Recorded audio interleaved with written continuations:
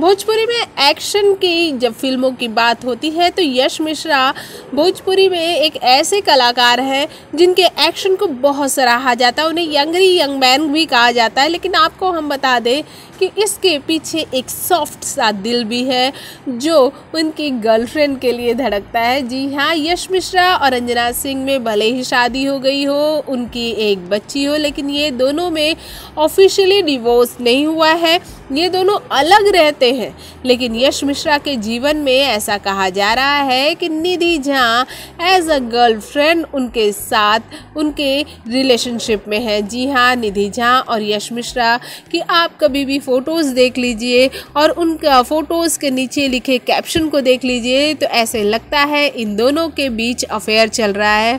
और निधि झा को उनकी गर्लफ्रेंड के तौर पर अमूमन लोग जानते ही हैं। हम आपको बता दें कि ये दोनों भले ही इनकार कर दें, लेकिन इनके बीच की केमिस्ट्री है जो बहुत कुछ कह जाती है और इन दोनों की जोड़ी भी बहुत खूब लगती है।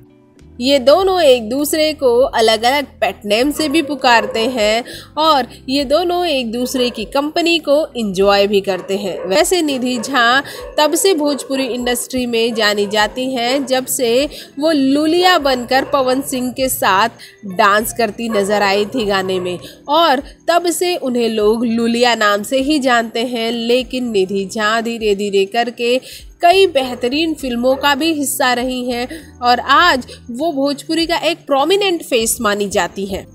तो आपको कैसी लगती है निधि और यश की जोड़ी? हमारे कमेंट बॉक्स में कमेंट करके ज़रूर बताइएगा।